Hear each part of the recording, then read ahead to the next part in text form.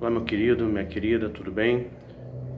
Estou aqui hoje para falar com vocês. A gente, tem, a gente falou no último vídeo do canal sobre política, perseguição religiosa e vamos dar uma aliviada um pouco nisso, né? A gente está chegando já a eleição dia 30 e você vai ter que tomar sua decisão, você vai ter que fazer a sua escolha.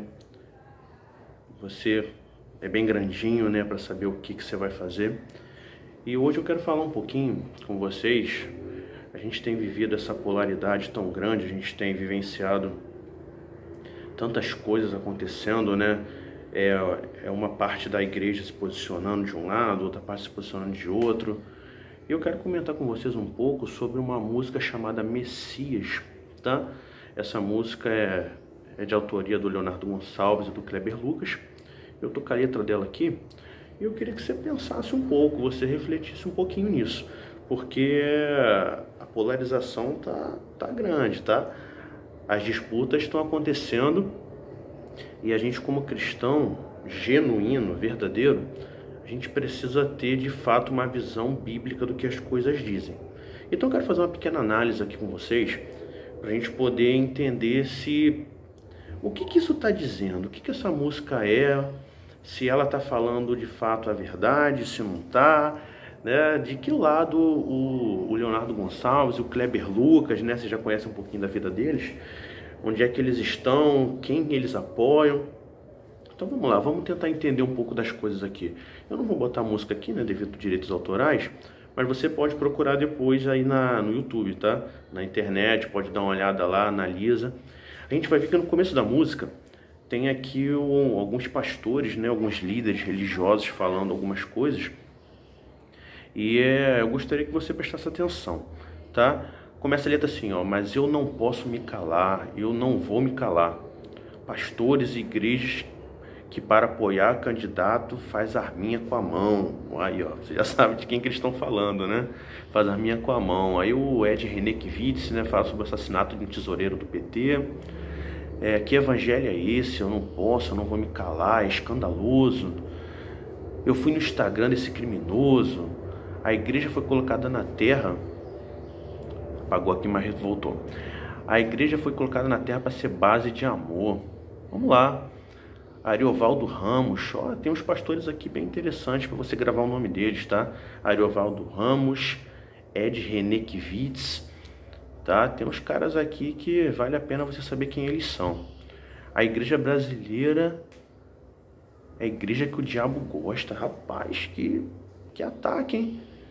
É a igreja que o diabo gosta. Eu não imagino Jesus entrando numa festa de aniversário para ser fonte de amor. Os pastores brasileiros são os pastores que o diabo gosta. Legal. Dizendo aqui é Jeová e pá. Poxa, Ricardo Gondim, outro nome que você precisa saber, né? Da Igreja Bethesda, pastor inclusivo, né? Legal. Eu odeio e desprezo suas festas religiosas. Realmente, eu, esse tipo de pastor realmente despreza, né? Despreza o que a igreja representa, o que a verdadeira religião representa. Edson Nunes, e você não guarda os mandamentos com amor, ao invés de ensinar o pensamento com liberdade, não suporta suas assembleias solenes. Eles usam alguns textos aqui da Bíblia, né? Somente texto dos profetas, Jeremias ali, Ezequiel, para poder fazer alguns comentários. Mas vamos lá, vamos, vamos ver. A letra ainda nem começou, né? Por enquanto foi só uns ataques ali. Você não está guardando os mandamentos. Se o mandamento não é o amor, a partir das escrituras, não aguento mais conferência, você não está guardando nenhum mandamento.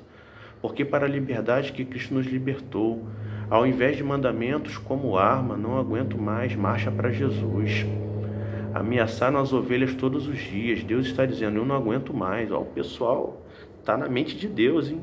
Sabe o que Deus está dizendo. Com chicote, com violência, com segregação. Se eles não fizerem assim, não pensarem assim, Cristo está falando do mandamento como amor. Não andarem assim, não vestirem assado, o mandamento é o amor. Rapaz, que maravilha! A letra tá só no começo, hein? É só a galera falando ali, os pastores, né? Falando. Olha só, gente, eu não tô aqui para ficar simplesmente fazendo gracinha, né? Ou deboche com esses pastores. Mas eu quero que você compreenda o seguinte. Nós vivemos num período em que as pessoas estão distorcendo tudo que é ensinado na mensagem nas escrituras, tá? Pega um detalhe, pega uma parte, abraça aquilo ali de uma tal forma e assume isso como verdade. Então, eu quero que você compreenda o seguinte: você que é um cristão, eu que sou um cristão, eu preciso meditar no que a Escritura diz. Eu não posso meditar no que um profeta fala simplesmente, eu não posso prestar atenção no que só um apóstolo fala, eu preciso ouvir toda a mensagem do Evangelho. E a mensagem do Evangelho, meu querido e minha querida irmã, eu quero que você preste muita atenção nisso. A mensagem do Evangelho é que o pecador deve se arrepender para ser justificado em Cristo. Não adianta falar de amor, falar que tem que abraçar as pessoas, que o mundo precisa de mais amor, que o mundo está sofrendo. Não adianta falar nada disso sem falar de arrependimento de pecados. A mensagem é arrependimento. Eu peco, você que está me vendo aí, você também peca. Todos nós, a Bíblia vai dizer que todos nós pecamos e todos nós fomos excluídos da glória de Deus. Mas e aí, Wellington, como é que funciona isso? Se nós fomos excluídos, se nós caímos em Adão por causa do primeiro pecado, do pecado original, em Cristo Querido, em Cristo somos justificados. Onde abundou o pecado, não é isso? Superabundou a graça. Mas nós devemos continuar pecando, então, para que a graça fique mais abundante ainda? Não, não é assim que funciona. Não adianta dizer que ama. Que evangelho é esse que esses caras aí, Leonardo Gonçalves, Kleber Lucas, esses outros camaradas se dizem é, artistas, gospel, cristãos, que evangelho é esse que esses caras estão anunciando? É o evangelho socialista? É o evangelho comunista? É um evangelho em que Jesus é um militante de esquerda? Meu irmão, a gente não está aqui pregando um Jesus militante. Não, não, negativo. Não estamos pregando Jesus de esquerda, um Jesus de direita, não estamos pregando isso. Porque Jesus veio muito antes disso, nós estamos falando sobre Cristo ressurreto.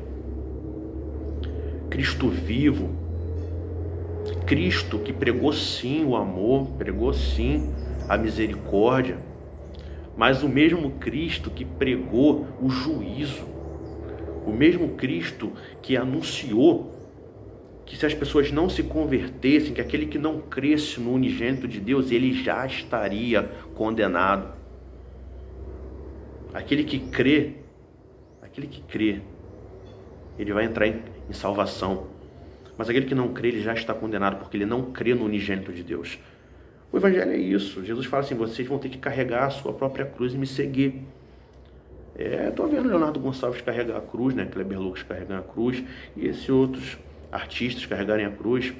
Essa galera intelectual aí do, do gospel, estou vendo eles carregar a cruz deles, sim. Não cai nisso, não. Isso a gente começou a falar do princípio da letra aqui, alguns pastores.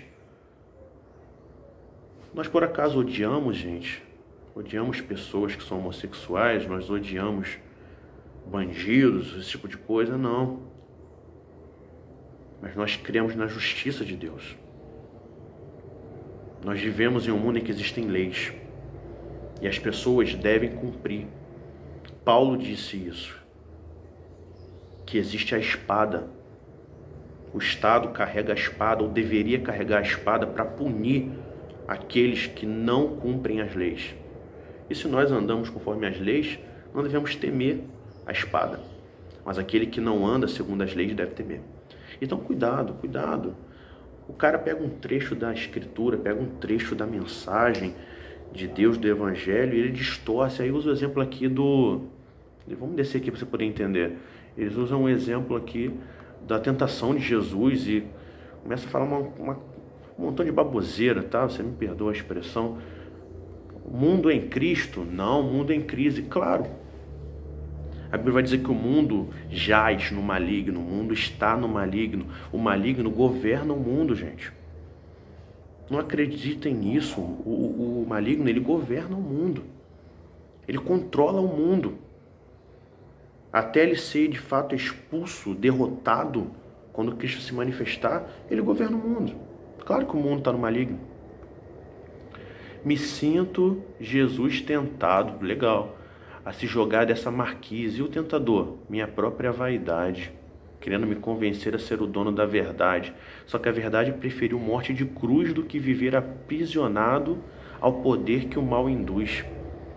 Cristo, Cristo foi tentado pelo mal, Cristo foi que a, a Bíblia fala que ninguém sendo tentado diga de Deus sou tentado. Que cada um, quando fica tentado a cometer um pecado, ele é seduzido pela sua própria, pelo seu próprio desejo, pela sua própria má vontade. Mas Cristo não, Cristo não tinha pecado. Mas Cristo foi testado pelo diabo ali. A gente usa a palavra tentação, né? Mas ele foi testado pelo diabo ali o diabo fez esses testes com ele, tentando seduzir Jesus, mas Jesus é o Filho de Deus. Ele não cairia nisso como eu e você às vezes caímos em tentações, tá? Mas Cristo preferiu a morte de cruz. Você sabe por que Cristo morreu na cruz? Você sabe? Cristo morreu na cruz para nos dar o direito à vida eterna. Cristo não morreu na cruz para defender uma posição política. Cristo morreu na cruz para salvar a criação de Deus. Cristo morreu na cruz para ser digno, embora ele seja Deus. A Bíblia vai dizer que ele não usurpou essa posição, ele foi obediente até a morte e morte de cruz. Por isso Deus deu um nome para Jesus acima de todos os nomes. Acima do nome de Luiz Inácio Lula da Silva, acima do nome de Jair Messias Bolsonaro, acima do nome de qualquer um desse mundo. Cristo está acima disso tudo, eu quero que você saiba disso. Cristo vai voltar e vai governar com vara de ferro. Você não se engane, não. Esse Jesus que as pessoas pregam aí, que esses artistas pregam, é um Jesus que tolera tudo, é um Jesus que aceita tudo. É um Jesus que você pode fazer o que quiser, que ele não está nem aí, ele te ama e tá, é, tá bom, é assim mesmo. Jesus não é assim, não. Jesus morreu como um cordeiro, mas volta para reinar como um leão. Nós não esperamos do governo de Lula ou de Bolsonaro a solução para a nossa vida. Nós esperamos isso do governo de Cristo. Mas eu preciso que você compreenda e exerça o seu cargo de cidadão. Se você vota em um ou vota no outro, você tem que votar naquele cara que mais se assemelha aos teus princípios. Se você se parece com o Lula em tudo, vota no Lula. Você acha que o Bolsonaro defende alguns princípios, embora você não concorde com ele em tudo, vota no Bolsonaro, faz a sua escolha. Mas cuidado, hein? Cuidado que o socialismo está rondando toda a América Latina. Os venezuelanos estão entrando lá por Roraima.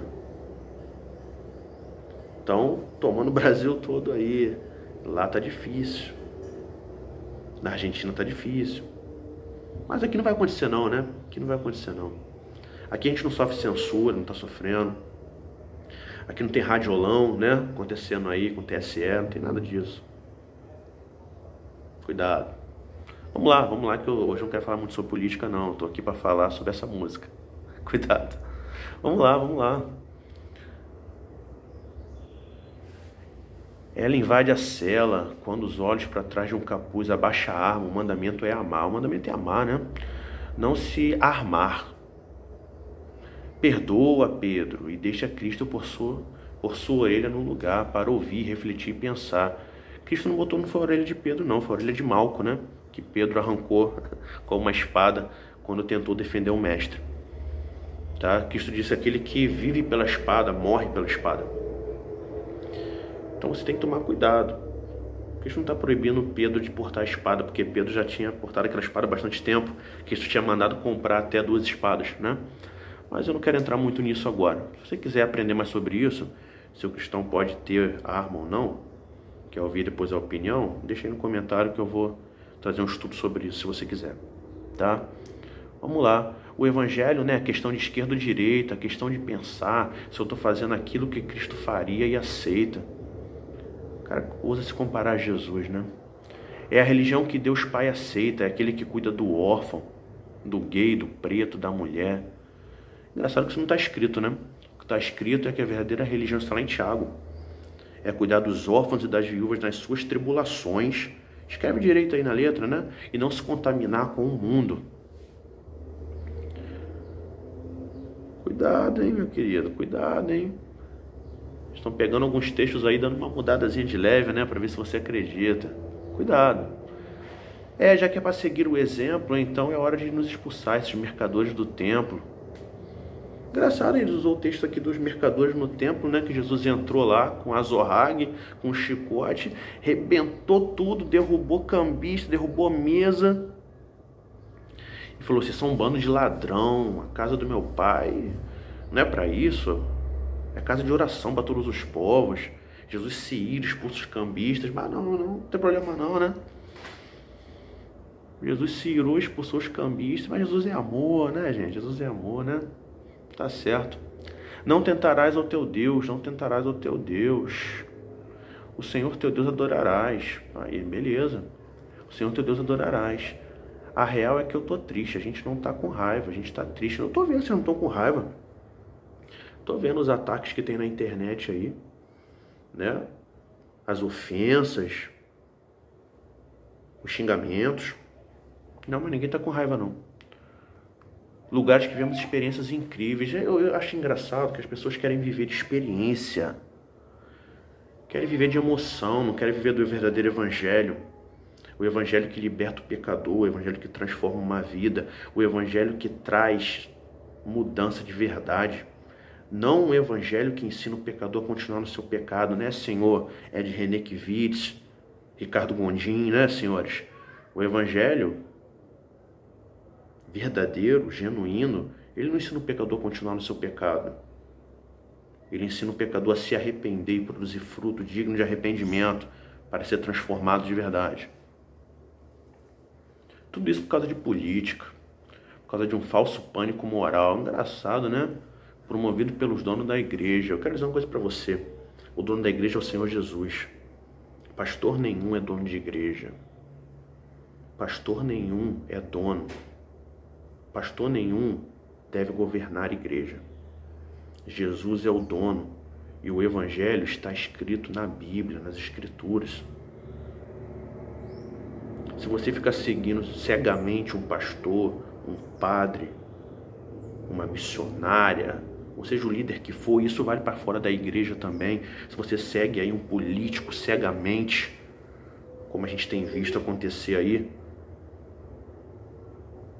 é um cego guiando outro cego, vai cair os dois na cova, os dois no buraco. Cuidado, meu querido, cuidado. Será que estamos tão cegos para não compreender a verdade do Evangelho que Cristo anunciou que o reino de Deus já chegou e é necessário que os pecadores se arrependam?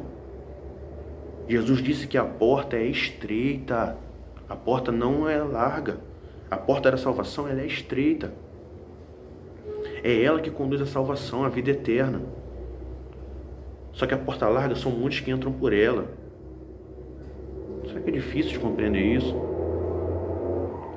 Só que a gente ama a Deus sobre todas as coisas e o nosso próximo como a nós mesmos. É verdade, com certeza. A gente ama a Bíblia, ama tanto a Bíblia que distorce a mensagem dela.